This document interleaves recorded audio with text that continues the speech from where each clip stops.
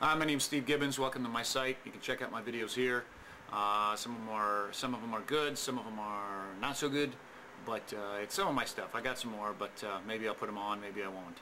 Um, and uh, shout out to all my peeps in Michigan. You 313-748-810.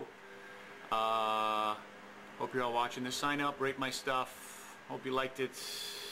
Be a little lenient with me. Four, five stars. Um, hate all those you guys. That don't know me. Um, decent fella. Actually, my hair, long hair right now. Normally it's short, but uh, I grew it out this year. It's actually almost a year. I'm going to cut it you know, on the 20th of August. Um, so it's short again. This is actually one year's growth. And uh, I normally have a goater. This is what I look like with a goater.